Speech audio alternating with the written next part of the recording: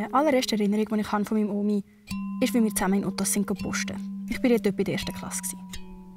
Noch bevor wir in den Laden sind, hat sie mir gesagt, Jasmin, jetzt musst du gut aufpassen. Ich zeige dir etwas, das dir den Rest von deinem Leben etwas wird bringen Wir sind dann zusammen in den Autos rein und haben einen Plastikkaras genommen und mit sechs Flaschen vom billigsten Wasser gefüllt. Unter fünf von diesen sechs Flaschen haben wir darunter gelegt, was wir wollen. Madame hat sich Puder und Lippenstift ausgesucht und ich durfte ein Päckchen Gummibärli unter eine Flasche stopfen. An der Kasse hat mir somit dann nur die eine Flasche gegeben, die nichts darunter war unter dem Vorwand, der ganze Harasse sei jetzt schwer zum Auflupfen. Dann haben wir nur die sechs Flaschen Wasser gezahlt und sind aus dem Auto rausgelaufen. Natürlich lernt man schon als Kind, dass Stellen etwas Schlechtes ist. So dass ich selbst dort, in der allerersten Erinnerung, die ich an meine Omi mich gefragt habe, ist meine Omi ein böser Mensch? Etwas anderes, was man lernt, wenn man ein Kind ist, wenn man eine Frage hat, soll man sie einfach stellen. Würdest du von dir selber sagen, dass du ein schlechter Mensch bist?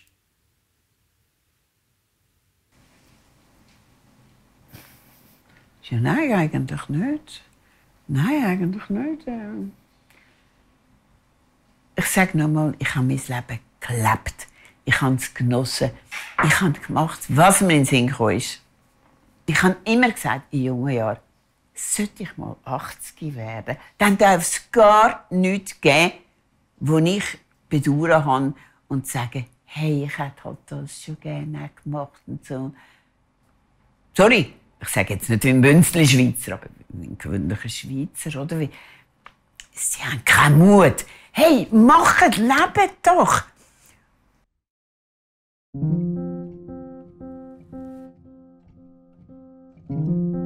Es hat schon immer so ein Krüsi-Musik bei meinem Omi.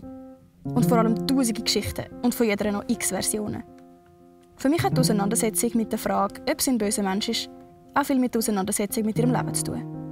Und so habe ich mich auf Spurensuche begeben in meiner Familiengeschichte. Etwas kann wirklich niemand abstreiten, der mich Omi kennt. Ihr Leben gelebt hat sie. Die ersten paar Jahre von dem Leben hat sie es aber nicht einfach gehabt. Als Kind haben ihre Eltern sie daheim eingesperrt und sie hat nie raus spielen. Schon früh ist sie regelmäßig von beiden Eltern geschlagen worden, was sich um ihr zwölftes Lebensjahr nur noch verschlimmert hat. Dort hat ihr Papi herausgefunden, dass er schon seit immer zeugungsunfähig ist. Und von dort an ist sie von ihm nur noch der Bastard genannt worden. Nachdem sie mehrmals von die weggelaufen ist, hat sie mit 18 einen Plan gefasst.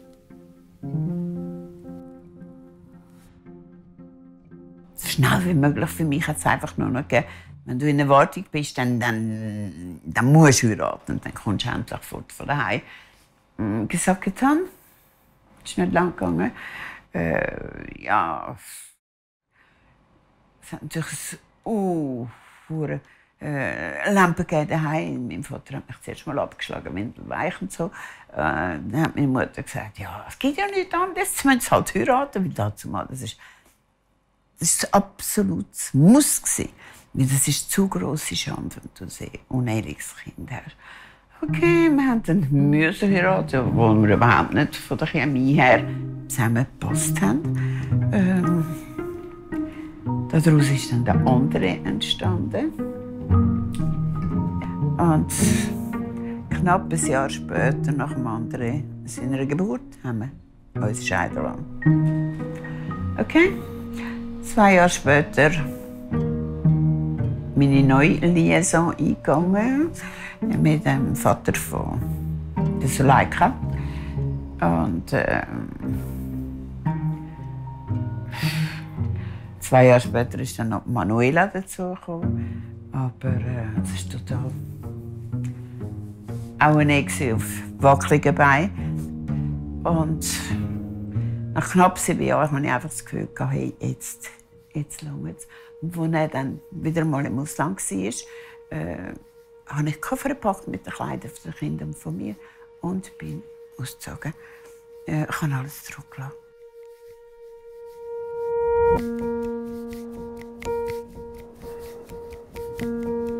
An hat sie immer wieder den Wohnort gewechselt. Kaum ein Jahr hat sie es noch mit ausgehalten. Ihren Sohn in der Obhut von ihren eigenen Eltern gelassen, ist sie mit ihren zwei Töchtern, also meiner Mutter und Tante, quer durch die Schweiz gereist. Natürlich war das finanziell nicht immer einfach. Doch sie hat immer irgendeine neue Idee gehabt, wie man zu Geld kommen kann.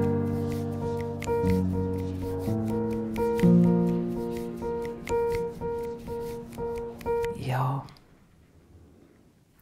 Es hat viele Sachen gegeben. Dass wir müssen als Kind Eier verkaufen von Haustür zu Haustür und dann müssen erzählen, ja, wir kommen hier von der Hühnerfarm in Watt und wollen sie auch gerne ein paar frische Bauernhofeier. Und dann haben wir die Eier kaufen und irgendwann habe ich, habe ich natürlich mitbekommen, dass sie die einfach posten so palettweise und dann umräumt, also bei einem Grosshändler. Und wir mussten einmal sagen, das sind Eier von der Hühnerfarm Watt in Regensdorf. Und dann haben wir das umgeräumt auf die Kartondings, die so ausgesehen haben. Wie so. Und dann habe ich rufen und das verkaufen. Ne? Und dann habe ich gesagt, ich bin von der Hühnerfarm Bad in Regensdorf noch nicht mehr geknickst. Einfach. Ja, bist halt einfach auch ein bisschen missbraucht worden dafür. Aber dort hat sie schön kassiert. Ja, ja, du kannst die natürlich billig einkaufen. Und schon genug dafür verlangen. Und wenn die Leute mich reklamiert haben, irgendwie, es stinkt nach, also das, das Ei hätte geschmeckt nach Fischmehl, dann haben sie halt dann ein paar Eier gratis bekommen das nächste Mal. das ist schon noch drin gelegen. Wir sind die ganze Zeit weiter. Wir haben ja etwa 14 Mal gezügelt, bis ich 11 war. Es war wie immer wieder eine neue Existenz aufbauen. Entweder hat die sowieso gar nicht gekippt, weil es einfach irgendwie eine Illusion war, oder die Geschichte hat sich so schnell wieder demaskiert. Wir sind so viel mal rausgerührt worden, auch aus Wohnungen, aus, aus äh, was weiß ich was äh, für Ort. Es war wie, wie auf der Flucht sein mit jemandem. Okay, ja, bis dahin ist doch schon relativ viel gelaufen. Wer allerdings denkt, dass die Geschichte bis dahin schon eher wild ist, dem muss gesagt werden. Das, was ihr Leben am meisten definiert hat, kommt erst noch. Eines Tages ist ein Kollege von mir mir daheim vorbeigekommen und hat gesagt, oh, ich bin ein furchtbarer Kleine. Ähm, ich habe ein Zeichen gemacht, ich habe falsche Schick ausgestellt, ich muss in die Kiste. Er muss ins Ausland. Sag ich, ja, du, ich, ich habe eigentlich die Schnauze voll von dem. Komm mit. Er sagt, ja, machen wir das? Sag ich, du, hey, weißt du was? Äh, Afrika? Sagt, ja, wieso eigentlich nicht? Dann habe ich einen alten VW-Bus gekauft für 500 Franken. Er war Automech. Dann hat er total auf Vordermann gebracht. Und äh, bei Nacht und Nebel haben wir die Schweiz verlassen. Wir haben gemerkt, wir gehen in die Ferien. Bisschen längere Ferien, ja. Haben wir packen und ja, cool, wir können in die Ferien. Zuerst haben wir gemeint, wir gehen in die Herbstferien, dann hat es plötzlich gesagt, wir gehen doch schon ein bisschen vorher. Das ist lässig. Wir müssen nicht in die Schule zwei Wochen, dann kommen wir dann zurück. Ja. Und dann unterwegs hat sie gesagt, wir gehen nicht mehr zurück. Sie hat meinen Bruder aus dem Heim geholt. Und dann haben sie uns in einem VW-Bus verfrachtet. Und wir sind losgefahren. Wir haben gar nicht gewusst, wo hin. Und schlussendlich durch die ganze Sahara durch. Ja, und sind dann schlussendlich in dem Afrika gelandet. Im Nachhinein haben wir dann erfahren, dass es einfach war, weil Madame sonst halt ins Gefängnis gekommen wäre, wegen Betrug, Urkundenfälschung und, und, und diverse Betreibungen und so. Ja. Der Rolf ist immer im VW-Bus geschlafen und ist in einem kleinen Bungalow. Eines Morgens, als wir verwacht ist der VW-Bus nicht mehr da gewesen, ist Rolf ab mit dem VW-Bus und hat es allein gelassen.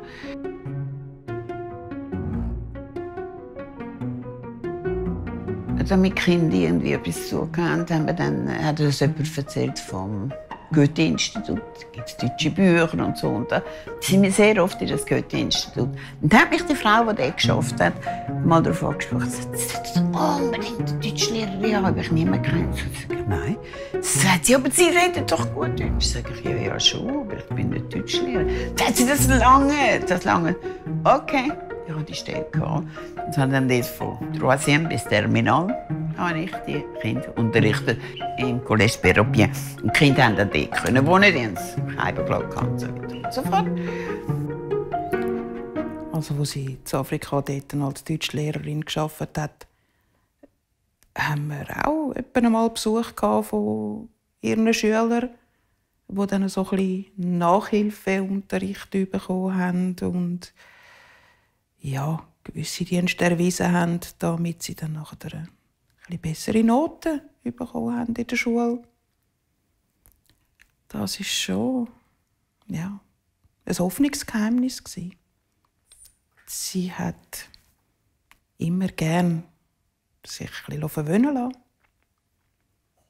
Ja, dann. Ähm, einer von meinen Schülern hat mir äh, immer schöne Augen gemacht und ich bin auch nicht abgeneigt. Ja, und dann äh, haben wir das ein Geschleik, sogenanntes, angefangen miteinander. Ähm, und dann haben sie die von der Direktion hat das mitbekommen. Das ist natürlich gar nicht gegangen. Und dann haben mir nahegelegt, dass ich bitte möchte gehen. Dann haben wir das Gefühl, was machen wir? Ja, Retour in die Schweiz. Da sind wir für zwei, drei Jahre Retour in die Schweiz. Und ähm, mich hat es eigentlich wieder nach Afrika gezogen. Und meine Eltern haben gesagt, du, hey, äh, lass das Kind da, dann haben sie da eine gute Ausbildung und so. Und das hat mir eigentlich schon eingeleuchtet. Ich bin wieder retour auf Afrika. Von dort ist sie immer wieder zwischen Westafrika und der Schweiz hin und her pendelt. Die Geschichten werden immer faszinierender. Ich könnte erzählen von ihren vier Pflegsöhnen, ihren sechs Hochzeiten und ebenso vielen Scheidungen, von sexuellem Missbrauch und unzähligen Reisen durch die Sahara, geklauten Autos und Gefängnisaufenthalt. Jede beschreibt irgendwo wie mein Omi ist und lebt. Ich merke aber auch, dass alles auf die Waage zu legen und zu entscheiden, was gut ist und was nicht, unmöglich ist. Ich habe darum einfach alle nach einer Geschichte gefragt, die man muss gehört haben, wenn man das Omi kennen will.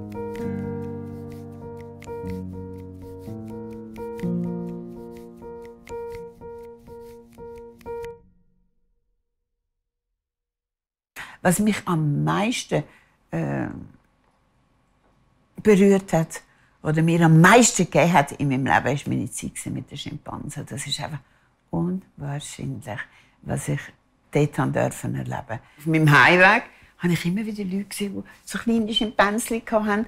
Ähm, und dann habe ich mal angefangen und gesagt, ja, äh, 50'000, 50'000. Sag ich, nein, das gibt es ja nicht.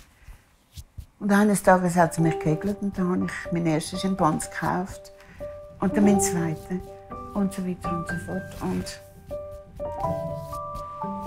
ich musste ein grösseres Haus haben, weil dort, wo, wo ich gewohnt habe, ist das nicht gegangen mit diesen Schimpansen. Und äh, schlussendlich bin ich bei 32 Schimpansen gelandet. Ja, und haben das Waisenhaus für Schimpansen aufgemacht. Das sind alles Schimpansen. Die Mütter haben es verschossen, die Kleinen haben es genommen den Hafen runter und den Matrosen verkauft. Und ich habe gedacht, das darf sie einfach nicht sein. Weißt, die, die hat die total ausgerottet. Ihr Projekt mit den Schimpansen ist so groß geworden, dass sie sogar Besuch von der Première Dame bekommen hat und ein TV-Beitrag über sie gemacht worden ist. Sie hat das Projekt dann schlussendlich müssen aufgeben, nachdem sie die finanziellen Mittel dafür nicht mehr aufgebracht hat. Je suis au bout. Je ne sais plus. Comment je peux continuer? Vous ne pensez pas que c'est une perte ça pour vous? Pour moi, peut-être, mais je ne vois pas ça comme perte. Je vois ça que je suis en train de faire quelque chose. Je sais qu'il y a beaucoup d'autres problèmes. Dans votre pays, il y a des gens qui n'ont pas assez à manger. Mais conservez, conservez votre faune, que les chimpanzés fait partie.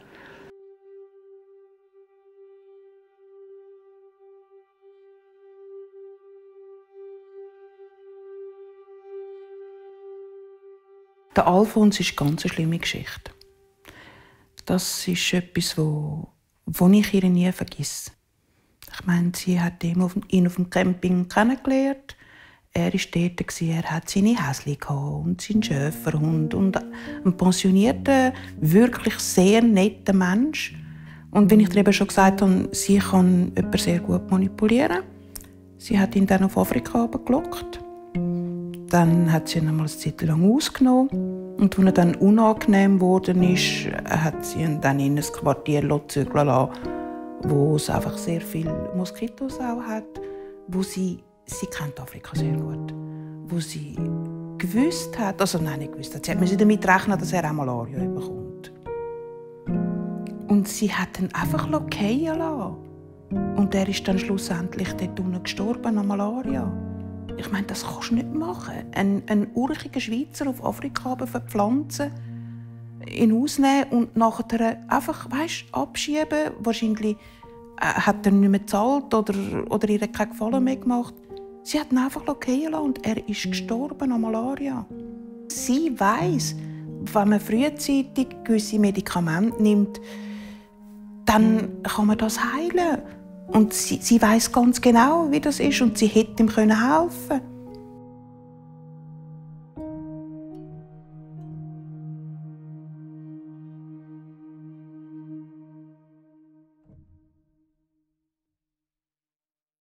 die Geschichte zu meiner Geburt ist, dass sie alles probiert hat, um mich umzubringen. Mit Rauchen, mit ab dem Tisch runtergumpen, mit Lismetnadeln und was weiß ich was. Ähm, damit ich nicht auf die Welt komme. Und ich habe trotzdem überlebt. Und manchmal hat es mich gedacht, bis zu einem gewissen Grad war das für sie auch ein Sinnbild für sich selber. Sie hat gegen all die Widerstände überlebt.